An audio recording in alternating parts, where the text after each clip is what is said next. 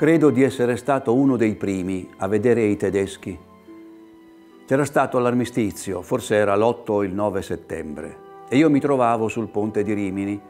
Ho visto passare i tedeschi con vari mezzi e armamenti. Sono passati davanti alla caserma italiana, ma non ho visto nessuno dei nostri venire fuori di lì. Alla Todd ho lavorato nella zona tra il Padiglione e Montecchio. Facevamo le buche per i fortini, erano larghe 4 metri per 4 e profonde circa 3 metri e mezzo. Venivano ricoperte con tronchi di legno e sopra veniva riportato uno strato di terra. Le buche dovevano essere collegate con camminamenti lunghi circa 20-30 metri, ma non si è fatto in tempo a farli. Il controllo del nostro lavoro funzionava in questo modo.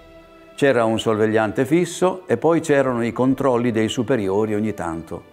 Ricordo che il sorvegliante era dei nostri posti di Osteria Nuova. Era una specie di caporale e infatti noi lo chiamavamo così. Ogni tanto ci faceva riposare e noi ci sedevamo nella buca. Ci assicurava che lui stava di guardia e che ci avrebbe preavvertito nel caso che stesse arrivando l'ispezione. Infatti tutti i giorni passavano due o tre tedeschi per controllare i lavori.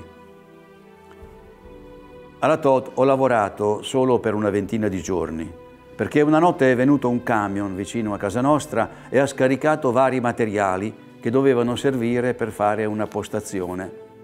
Dentro ci doveva andare un cannone a lunga gittata. Il comandante, che veniva dal comando situato nella casa di Maffei Giovanni al Padiglione, mi ha incaricato di fare da custode del materiale, così mi ha dispensato dal lavoro alla Todd. E poi ricordo due fatti, uno riguarda i tedeschi e l'altro i fascisti. Comincio con il fatto che mi è rimasto più impresso. Alcuni ragazzi del Trebbio erano venuti a caccia delle allodole nei campi al di sotto della provinciale, tra le carrate e l'incrocio della via Pozze.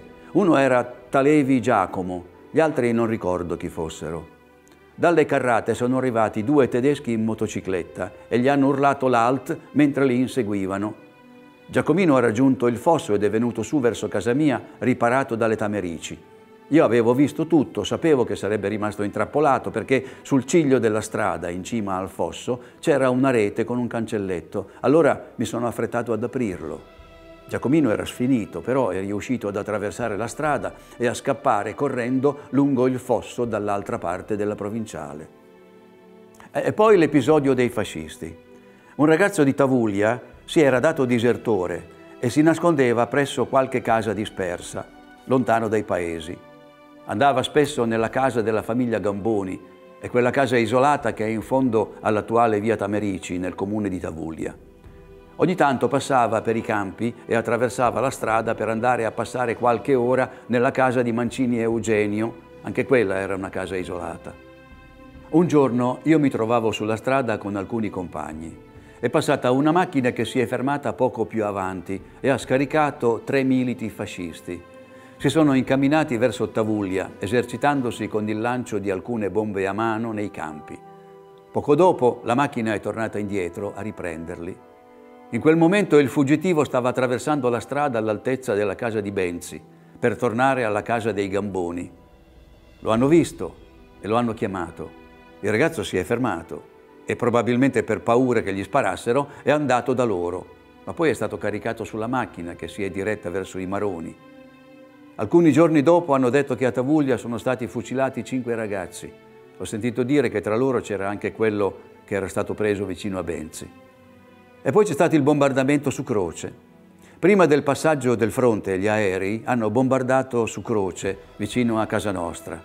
Per fortuna ero già sfollato, perché la casa si era divisa in due, rimanendo lesionata in modo grave. Probabilmente miravano a colpire la postazione tedesca che c'era all'inizio di via Pozze, sulla sinistra. Una grossa bomba è caduta sulla destra, centrando il monticello che c'era una volta, e lo ha trasformato in una grande buca. Quando poi il terreno è stato spianato, il monticello è calato di circa due metri. Durante il passaggio del fronte, io ero sfollato sotto Monte Ciccardo, nel fosso dell'Arzilla, in un posto detto Cairo. Mio padre è rimasto a guardare la casa, alle pozze almeno uno per ogni famiglia è rimasto a guardare la casa.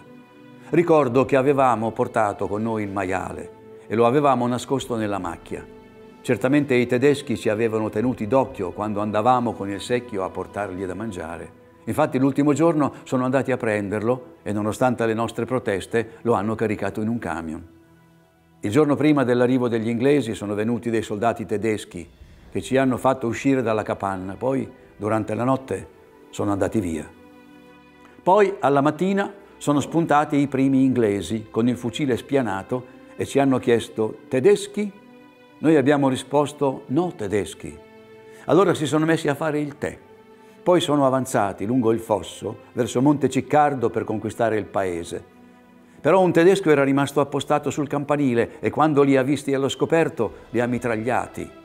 Noi abbiamo visto ritornare indietro alcuni feriti che sono stati caricati sulla Croce Rossa militare. Più tardi c'è stato un grande bombardamento degli inglesi, con cannoni e aerei sul paese. Il campanile e la chiesa sono stati distrutti. Alla fine sono stati raccolti una quindicina di morti inglesi, un tedesco l'avevano messo da parte.